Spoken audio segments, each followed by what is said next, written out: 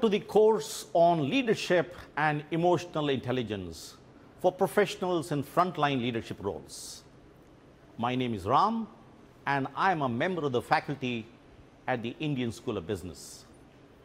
I've been a manager, a consultant and a professor at different stages of my career.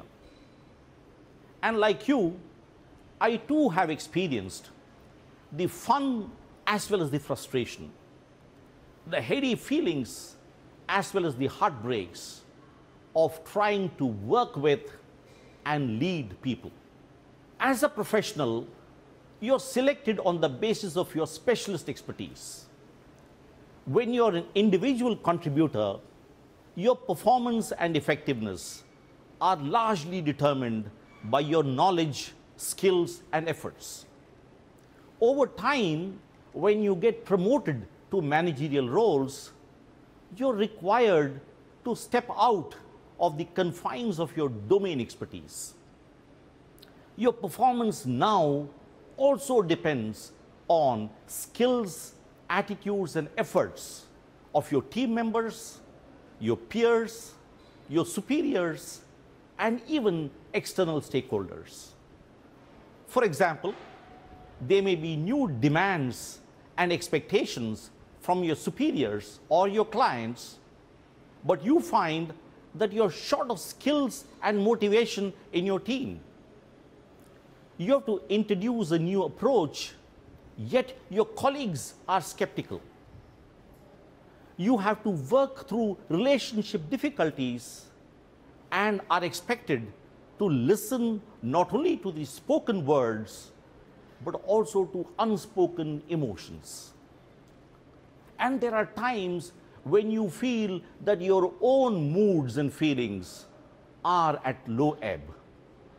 During those periods, you're expected to draw on your inner resources to motivate yourself and exhibit resilience.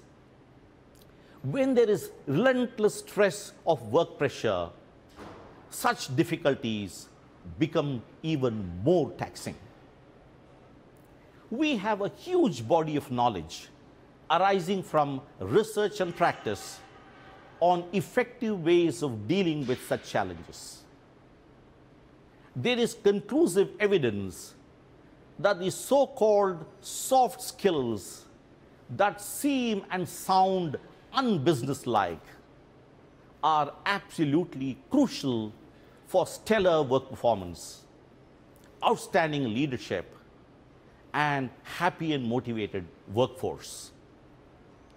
In this course, we'll bring you key insights on a range of issues that are important for frontline leaders. For example, how do you strengthen teamwork? What are effective ways of dealing with conflict?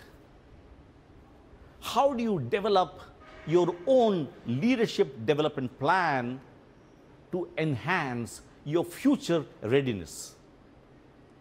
How do you create ownership for change? And how do you ensure effective execution? The course is organized into four modules.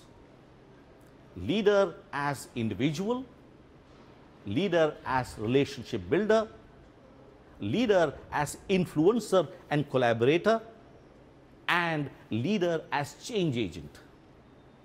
In each of these areas, our effort would be to distill important insights from the field of organizational behavior into simple, practical lessons that you can apply to your workplace challenges and improve your leadership performance.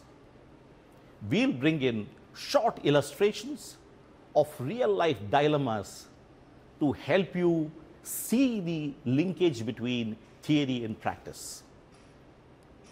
We'll have interviews with a few outstanding practitioners to find out what practical approaches have worked for them.